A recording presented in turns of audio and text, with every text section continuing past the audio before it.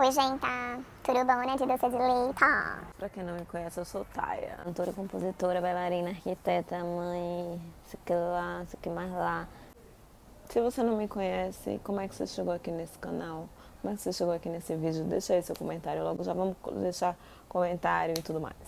Trago aqui um novo quadro semanal para compor a grade desse canal babado. Estamos começando com Eu ver.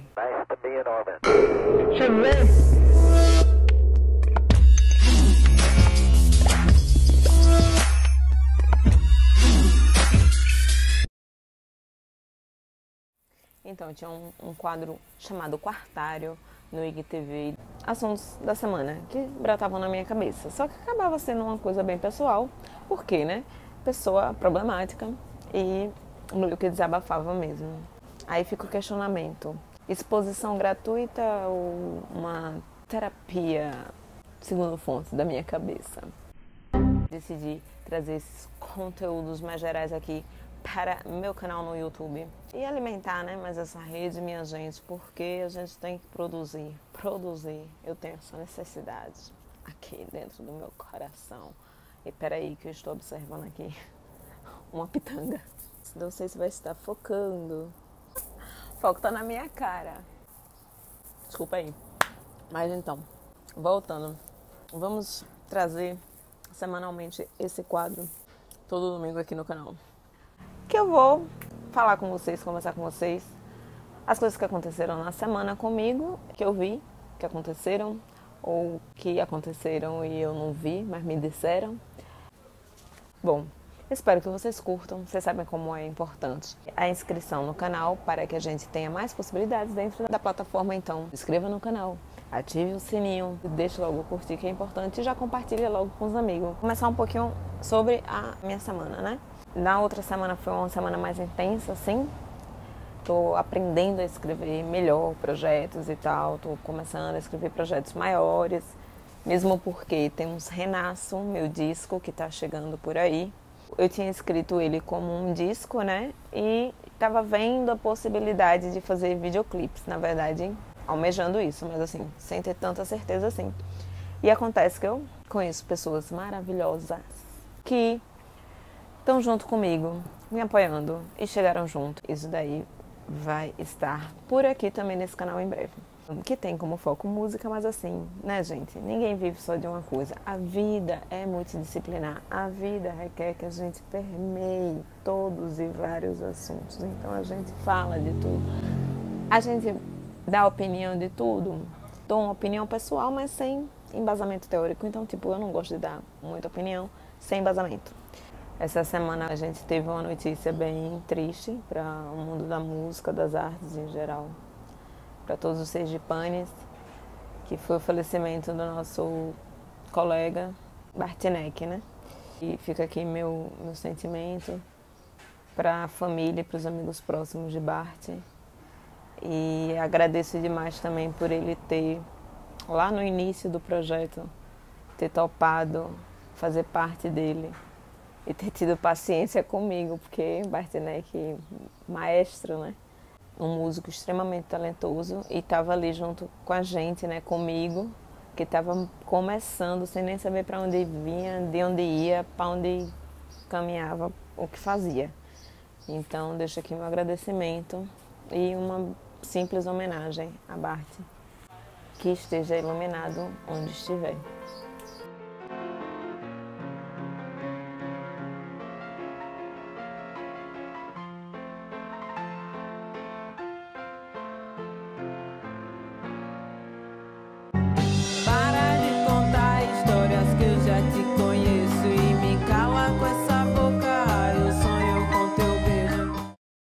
Falando em grandes nomes da música brasileira.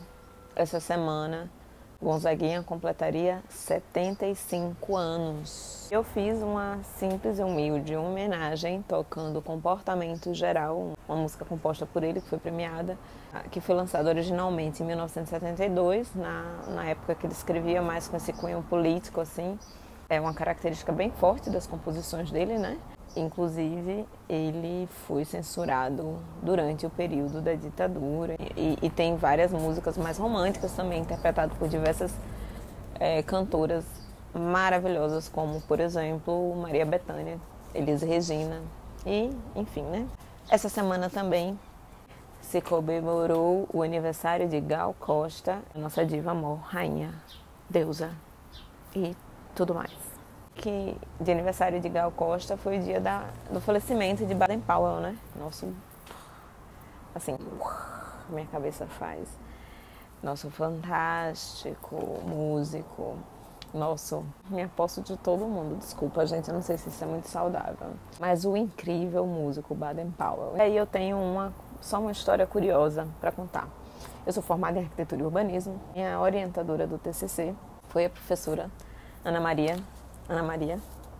Love you, baby. Você é maravilhosa demais, inclusive saudades. E a gente tava conversando um dia, pós-aula, e eu não sei o que é que eu tava falando de música, né?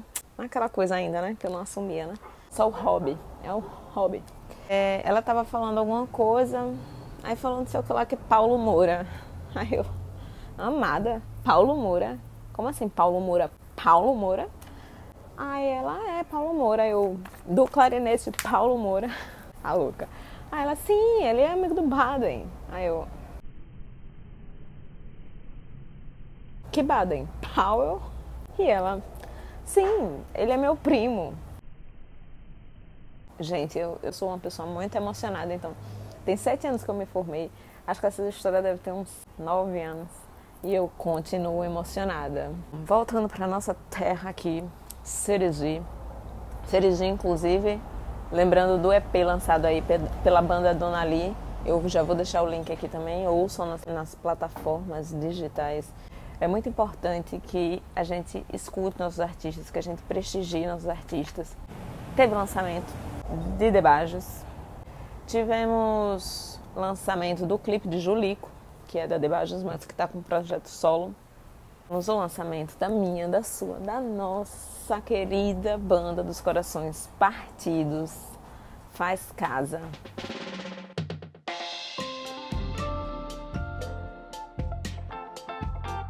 Com a cantora Jaque Barroso.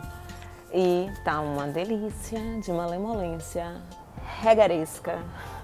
Inclusive já está na minha playlist. Inclusive vou deixar músicas que eu conheci na semana, que lançaram na semana, ou que o Spotify sugeriu para mim como descobertas da semana e que eu curti numa playlist semanal lá na minha conta do Spotify. Então me sigam. Tudo os links estão na descrição, tudo certinho. Voltando ao que interessa, single da Banda dos Corações Partidos com Jaque Barroso. Está delícia. Faz casa, mas quem vem dizer não sou eu, é a própria Diane Veloso. Diga aí, Di. Oi, eu sou Diane Veloso, da Banda dos Corações Partidos. Falar um pouquinho do Faz Casa. Faz Casa é uma música que está na banda há 10 anos. É uma composição do Edésio Aragão, a música dele e a letra da Mariana. O, o Aragão traz para a banda 10 anos atrás, uma média de 10 anos. Quando ele traz essa música, primeiro que eu já achei ela um encanto, assim. Uma... ela já traz umas sensações, né? Sensações de respiro, né? E eu já fiquei bem encantadinha com a música. E todo mundo também curtiu. Só que é uma música que, naquela, principalmente naquela época, ela fugia um pouco de uma proposta estética que a banda traz de linguagem, mas ao mesmo tempo a, é, a, gente nunca se apegou muito a esse lugar também, sabe? Não, não tem esse pudor da gente ficar agarrado numa coisa só, numa sonoridade, não. Então a gente falou, nossa, vamos expandir isso já. Então essa é uma primeira possibilidade. O Faz Casa tá nesse lugar, né? A gente constrói o roteiro da, do nosso repertório.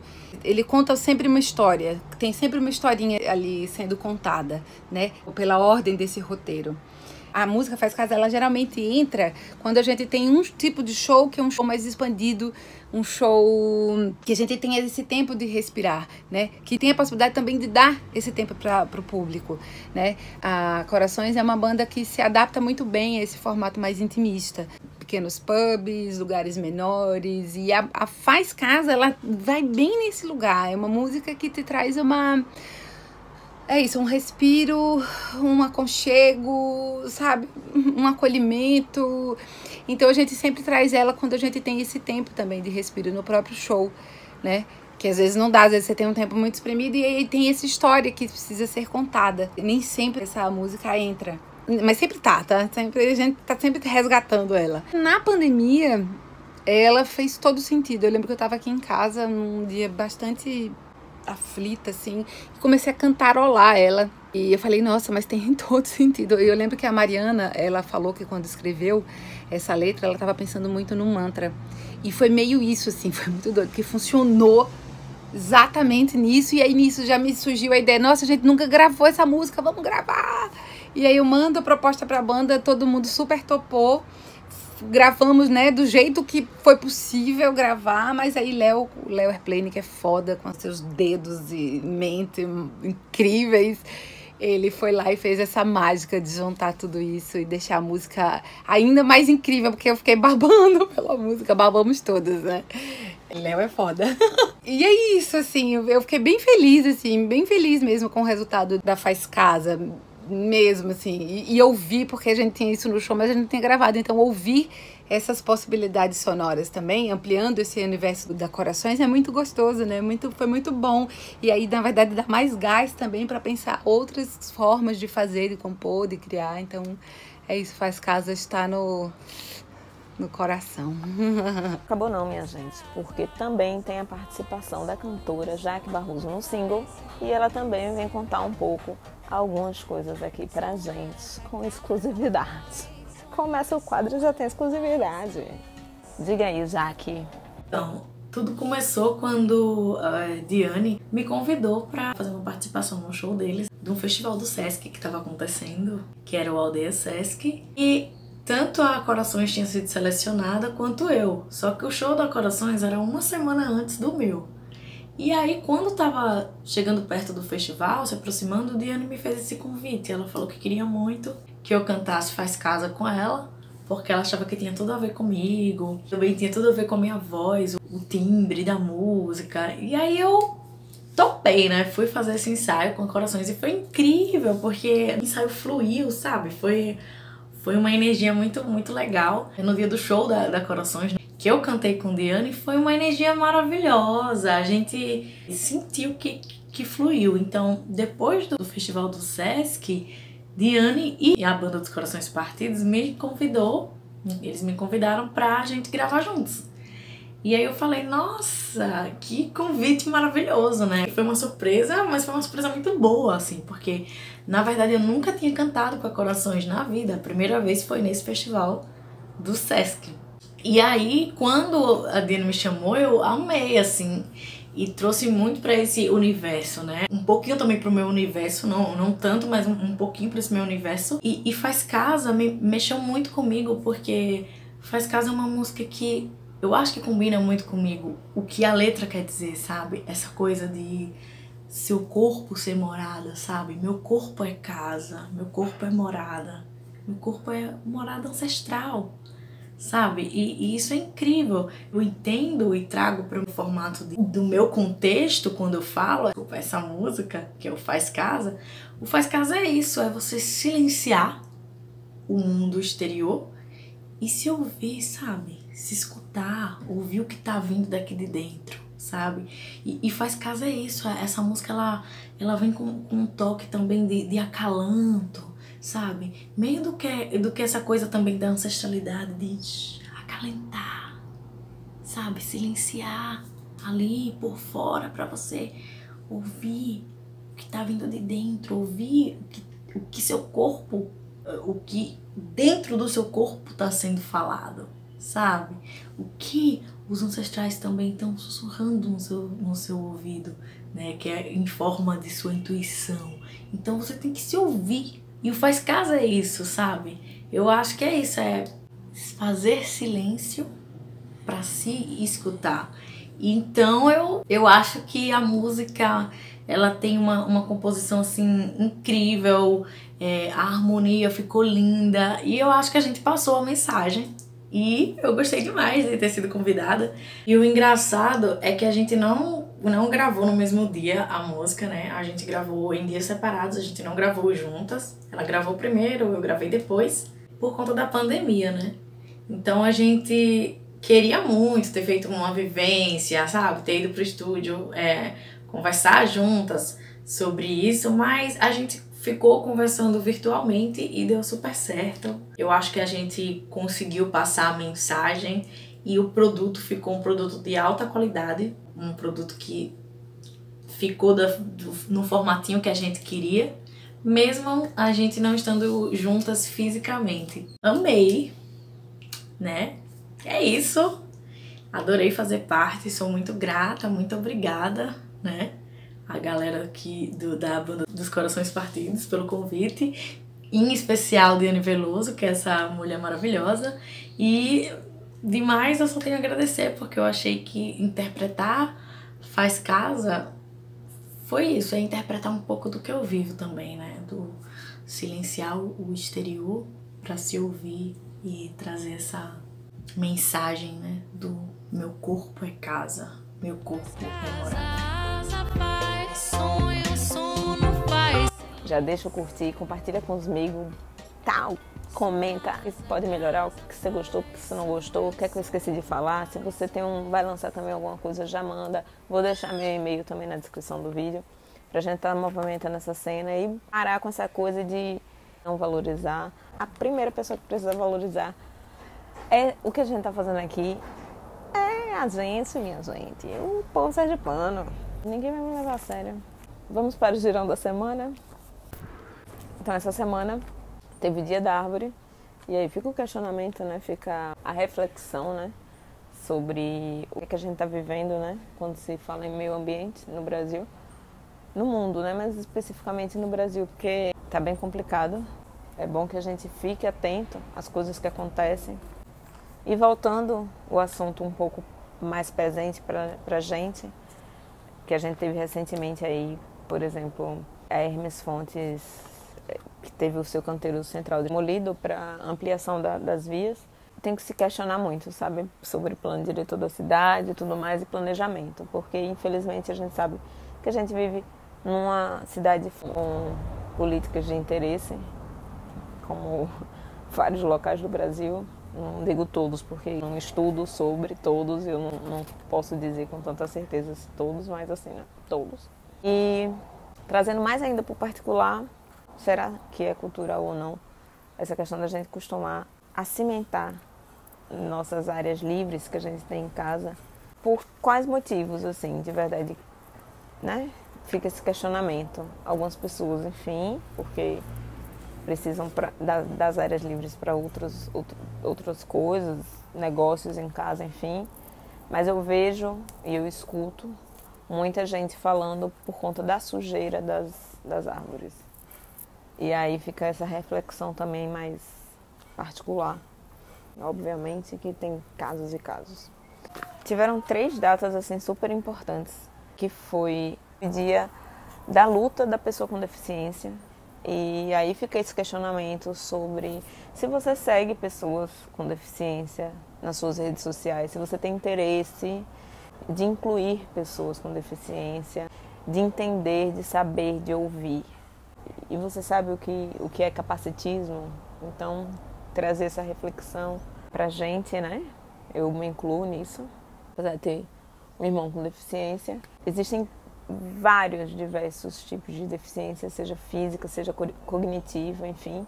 E é importante esse dia para reflexão da inclusão dessas pessoas na sociedade. As pessoas existem, elas estão aí, estão fazendo suas coisas, estão produzindo e elas precisam ser incluídas. Então, não é só chegar num discurso, fazer um, um discurso de libras, né? Cadê as políticas públicas efetivas para incluir pessoas com deficiência na nossa sociedade. É, foi o Dia Internacional da, das Línguas de Sinais e o Dia Nacional da Língua Brasileira né, de Sinais, Libras. E é isso, é importante que isso seja colocado, né?